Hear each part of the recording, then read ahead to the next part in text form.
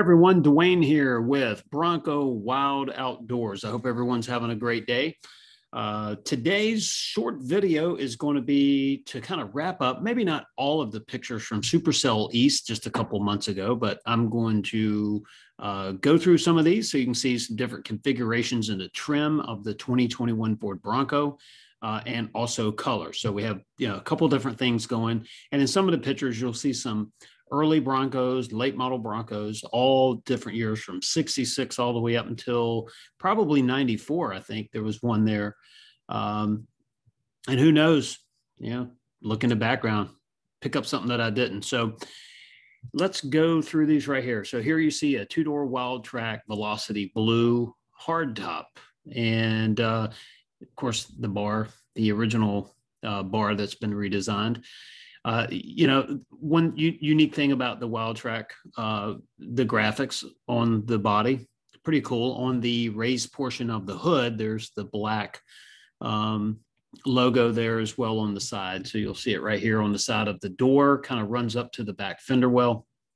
And the badging obviously is definitely cool. One thing too, the grill and the mirrors are gloss black. So it gets rid of the carbonized gray, sort of the flat color or the flat texture. Uh, adds the really dark gloss blacks. Pretty cool. Next picture here. Uh, now, this was um, one of the Broncos. I think both of these, well, no, I know this Bronco for sure. Maybe the other Wildtrak was used in the off road uh, ride along. So, uh, this was Shelby, uh, the one that Shelby Hall drove uh, before it got dirty. um, or maybe they washed it. Who knows? But either way, this is the one that she uh, she drove. I believe uh, this is a Badland Sasquatch 2.3. Um, that was interesting, soft top, and it performed very well. There's a few videos online that people uh, that rode with her that did the video, and they they liked it, so it was very impressive. And there's Gavin doing his doing his thing next to the Wildtrak that we just showed you. And there's a couple goofy pictures in here of me, so let's ignore those. This two door uh, Area 51. The Area 51 is the most unique color to me because, you know, here it, it has a little bit of gray in it, and it and not it's not flat, but it doesn't jump out at you. But because of the uh, overcast, uh, you can see the clouds in the mountains. We were pretty high elevation towns in Tennessee. So we actually have these clouds running through here. The the dark sky and, and all of that just added for the color not to pop. But when you see this color clean in the sunshine, it really, really, really pops. So definitely a cool color. Two door cactus gray, soft top, Sasquatch. This thing's pretty cool. Um, I actually did a little video where we went over this vehicle. If you look here on my channel, you'll see one that we just did. It was a, it's a short, it's a YouTube short video. Uh, so like 55 seconds of it.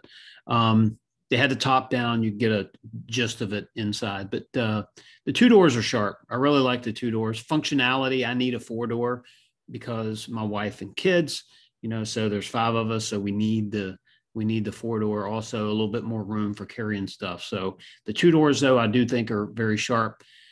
When we get our second Bronco actually on order, we may switch over to a two door on this one. We haven't decided. Um, hopefully, that ordering opportunity doesn't have to take place until we take delivery of our four door Badlands, and that'll really help us decide. Another picture there. This is the base uh, Bronco 2.7 Sasquatch that we actually did our ride along. If you look on my videos, there's uh, it's titled Base uh, Bronco Ride Along or Trail Ride. Um, this thing here is really really cool. The trail turn assist on this, uh, I like it. It's very cool. So you can see we don't have the rock rails on this particular one. Uh, at least I don't think so. You can't tell from here, but this one was muddy. This one had gotten used quite a bit. So the base Bronco, I think personally, is going to be one of the more popular ones for people that want to design and sort of build their own unique Bronco. Uh, because it's a really good uh, platform, and especially if you start with Sasquatch, I think it adds on a base about seven thousand, seventy five hundred dollars, somewhere in there. Don't quote me on that, but somewhere in that range. Now, as your trim levels go up, from so when you go to the base, Big Bend, uh, Black Diamond, um, in Outer Banks, Badlands, Wildtrak, you'll notice now the Wildtrak's going to come with Sasquatch, but on everything below that, you're going to see that the Sasquatch package becomes less and less uh, costly, so it's more more affordable uh, as a line item. However, it is in the base price, uh, meaning that if you're getting a um, you know a, a Sasquatch uh, package, well, you know it's it's going to cost you less on a Badlands than it will say on a base. So a base is like 7,500. I want to say it's about 2,500 on a Badlands. So when you're looking at the build and price on Ford's website, just try play around with the the model. So go with the trim level and then add Sasquatch, and then as you go up the trim levels, you'll see that's pretty cool. The chassis was very unique. Uh, to see this out, it's just clean. Uh, take away all the hoses and wires and goodies and you get to just really see what you're sitting on. Uh, this was a good um, learning learning tool for a lot of people there, so they can get a gist of the box frame, independent front suspension, the bash plates. I like to call them skid plates. Ford calls them bash plates. Um, the tow points. Um, hey, just really get to see what this thing's about. It's really, I think it's going to be a good deal. Area 51 two door, uh, obviously from the the side here and you can go through. Here's a set, um, uh, cactus gray. This is when they were leaving. This is where you would the tent here is where you would get in, and then you would leave this path here and, and go down. And and there's a video on this one, but the video for some reason with Zoom doesn't like to play. It's more like a fast slideshow. And then here's the side with the early Broncos, uh, vendors, uh, where you could buy anywhere from a complete chassis to a frame uh, to engines to the smallest parts and pieces you can imagine for your Bronco. So it was a, the swap meet was a very interesting, interesting place to go. Uh, as you can see, we had some weather in there. It was really, uh, it was cool. I wouldn't say cold. It was really cool, but it felt cold because of the, uh, you know, the dampness and everything. Uh, we had a, I think we had a really one sunny day. Everything else was just kind of blah. There's a picture of me. You don't see. There's little man Gavin.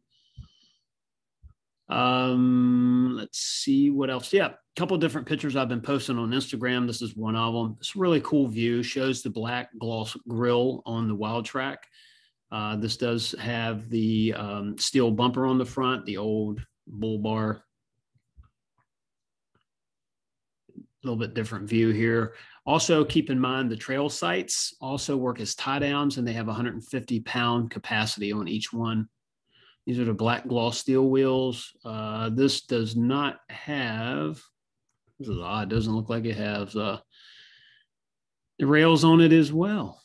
But in, in, these early Broncos here, this one right here, I think I have a picture coming up in this. Maybe it's going to be in another video. It is very clean. I mean, just like museum stuff. But you can get a gist of the different colors and the different trim levels uh, there's that logo on the hood. This sharp makes it stand out. And there we go with the with the black bucking horse on this one.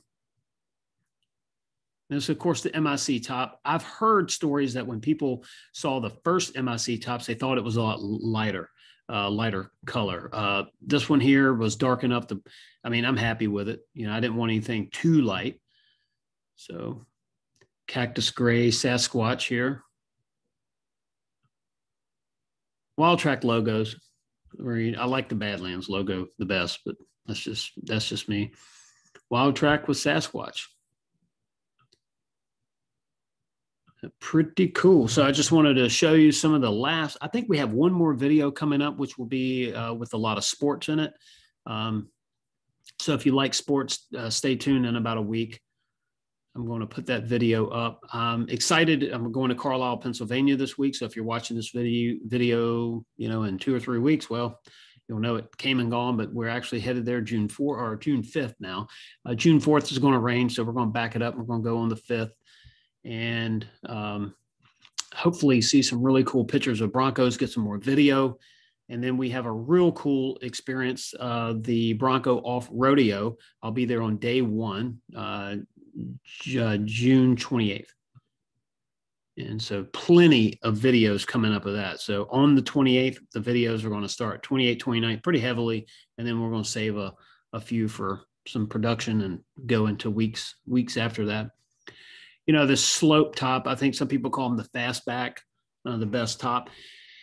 Um, you know, on a two door, on a two door, I like it. I don't know if it's even available on a four door or not yet, uh, but the two door, it's it's sharp looking. Uh, it does decrease some of the carrying space in the back. So if you're looking for as much room as possible to carry this, it is going to cut down on that a little bit. But I mean, it's ever so slight. If you were stuffing this thing so the seams were about to bust, it would affect you. Um, but man, that's just a sharp view, isn't it? But that Area 51 is a very cool color. I, you know, I've said this in other videos. I actually struggle with it. So if you're struggling with the color, the Area 51, when you see it clean in the sunshine in person, it's a beautiful, I mean, just awesome color. Um, there again, great view here. Get a gist of um, the style on this Bronco. I, I love how they brought in a lot of the the features from the early Bronco, and you know, it just it looks like a Bronco, right? You know, it, it like Chevy has their Blazer. That Blazer doesn't look anything like a or you know original or early Blazer. This Bronco is everything Bronco, right? It's what you would expect a new Bronco to be. So I like the clouds in the background. It's pretty sharp, isn't it? There's a Bronco Nation tent over here to the side the uh, Sasquatch package, you know, you have the beadlock capable wheels. Uh, they really look good. And of course, they're functional. So you'll be able to um, modify those for off road use only. Perfect picture right there. If no people were in there, it would be perfect. Actually, we started with this to build or, or to create, not build, create our logo and we switched it around a little bit and just did an animation of it because we didn't want to you know have the actual bronco in there. But um, this is kind of the the feeling behind our if you see our logo bronco wild outdoors this is sort of the the idea. But we designed our own little suv to put in there. And i have no idea what i was doing there. I was trying to take a really cool picture but it just turns out to be water on glass with a slight reflection. I do have my bronco nation hat on there very cool to have that. And there's the Bronco Nation trailer and uh, the tent set up where you could get the merch. There again, a lot of the early Broncos, you know, we didn't go over to that side. Um, we do have some video. I think we're going to put a video out later on of that, but there was a lot of really awesome early Broncos there. Uh, the 2.7 V6, you, so you can see the where one of the, the it's twin turbos. So you have one of the turbos here. Uh, the dipstick is obviously uh, noticeable, right? You can find it. Uh, but you know, obviously, this engine's traveling traveling around just like this for you to just to see the breakdown on it, and just like the chassis, it's a very uh, it's a very awesome look. Uh, Sasquatch, um, there again, suspension, stabilizer disconnect, upper lower control arms, body mount over here. You can see how the body's mounted on there. It's pretty big grommet, by the way. Um, yeah, like I said, it's it's not the biggest vehicle on the planet, so um, there's not a whole lot of hold down on that. I like the bash plate uh, under the gas tank. That's very designed very well. And then we have another view here of the chassis, and then we have this. Um, what do we have here? I don't know what trim level that was. Somebody correct me on that. I it's the uh, Cyber Orange, Sasquatch forget what trim level that was. There's one of the sports back here. This is where the sports lined up where you would get in and, and go. There again, awesome view. I love that color. By the way, when you see the cyber orange on on the picture, see it on here on YouTube and other places, it does look like a solid color. But when you see it there again, clean, washed up in the sun sunlight, it's a lot of uh, a lot of um, fleck and metal flake, fleck, flake uh, a lot of metallic. That's me in a sport. Now that we were getting into sports to drive, and this is where the sport video will take off here a little bit later. So we are going to stop the screen share. Uh, hello, everyone, again. So uh, just wanted you to see a few of those pictures. We're going to be wrapping all that content up as we move into um, uh, Carlisle, Pennsylvania, and also the Bronco Off-Roadeo in uh, Texas, Horseshoe Bay, Texas. So it's outside of Austin. I can't wait. I'm going to be there on the 28th. So a lot of Instagram stuff happening that day, as well as videos uh, later in the uh, in the day. And I think Gavin and I are going to have a um, we're going to have a, a live stream uh, he'll he's not going to be there, uh, so I'll be there. He'll be back home, and, and we're going to kind of put together the day and talk about everything about it. So if you're interested in going to the Bronco Off-Roadeo, it will be definitely a video for you. So, hey, we're out. I am done for the day. Look forward to talking to you again. Please like and subscribe to Bronco Wild Outdoors. Remember, when we get our Bronco, that's when the outdoor adventure really starts. See ya.